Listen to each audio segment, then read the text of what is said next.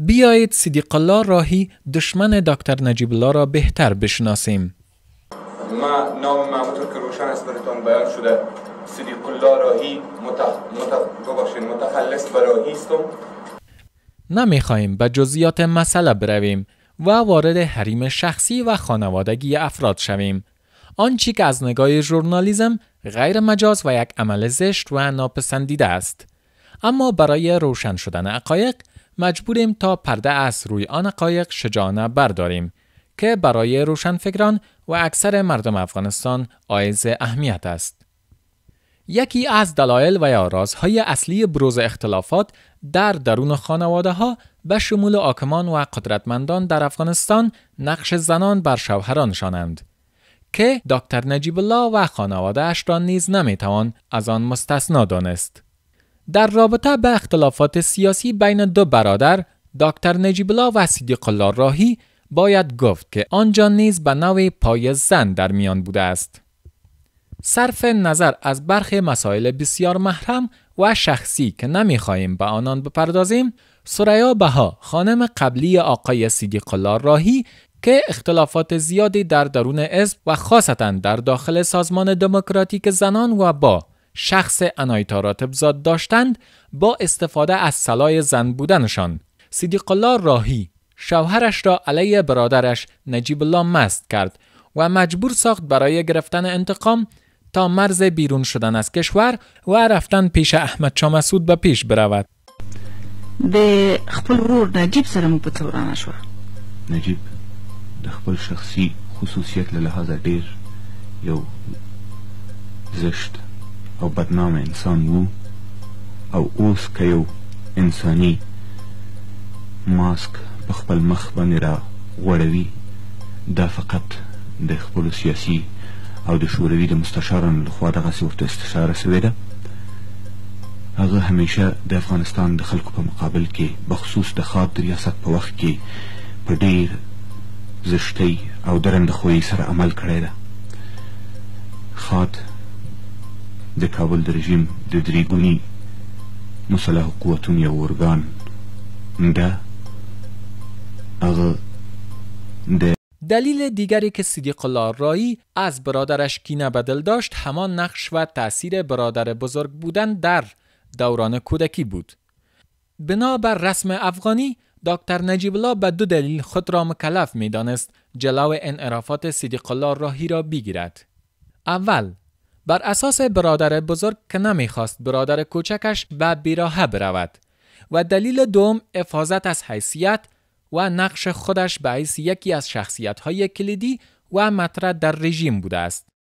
کسی که جهان غرب از طریق پاکستان در صدد محو فیزیکی بدنامسازی و انتقامجویی از او بود و لذا تلاش کرد صدیق الله را شدیداً تحت کنترل قرار دهد. این که او را تحت نظارت گرفت و حتی زندانیش ساخت فکر می کنم یک امر طبیعی و ناگزیر بود.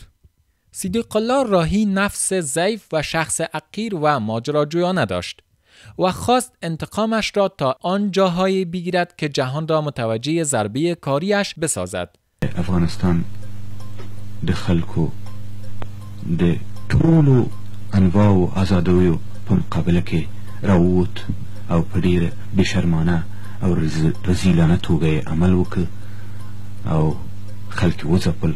خلک زندانونو ته وروکاږل د خلکو ازادۍ کاملا تر پښو لاندې کړلې.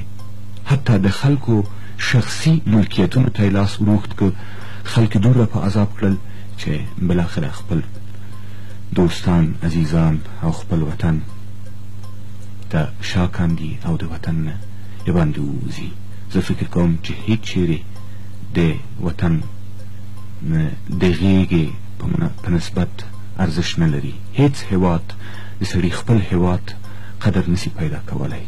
دا ټیک خبره ده. هماغسې چې سړی د خپل مور په نس کې خوندي او محفوظ وي دغسې په خپل هیواد کې خپل آب او عزت او خپل ارزش موندلی سي مګر دا د کمونیستی رژیم او د مارکسیستانو خصوصی نگارنده می نویسد به یاد دارم که روزی در یکی از جلسات تدابیر کاری دکتر نجیب الله به مسئولین امنیتی توصیه کرد.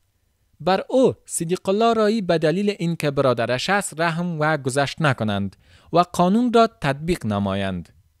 و بالاخره کار به جای رسید که صدیق الله نزد مادرش هنگام ملاقات توبه کشید و وعده داد آدمی مثبت و مفیدی باشد.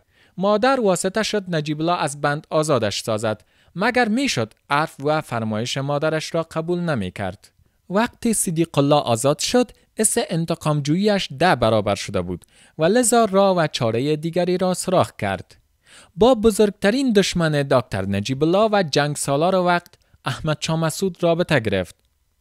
شک ندارم مخالفین رنگارنگ نجیب الله که در درون پرچمی ها و تا ست رهبران کم نبودند صدیق الله را برای آشنایی و نزدیکی با آمر مسعود کمک کردند تا به طرز دیگری نیز از نجیب الله انتقام بگیرد که گرفت. ما نام معمول که روشن است براتون بیان شده. صدیق الله راهی متخلص براهی استم که چگونه مشی مصالحی ملی است ای با همراه برادر خود کنار آمده نمی‌تونه و به تفاهم رسیده نمی‌تونه چطور می‌تونه که با ملت رنج دیده و عذاب کشیده و مسلمان و مؤمن و خدای افغانستان کنار بیایه و اونا را قناعت بده اما اینکه چرا آقای صدیق الله بعد از هان همه جفاهای بزرگی که نه تنها در حق برادرش دکتر نجیب الله بلکه در حق نهضت ترقی خواهانه صد ساله افغانستان نموده بود بعد از سپری شدن قریب چل سال بار دیگر دهنش کف می کند و القوم برای دکتر نجیب الله پاره می کند. و جالبتر این که از سیاست های غرب در حمایت از پاکستان و مجاهدین انتقاد می کند. پاسخش روشن است.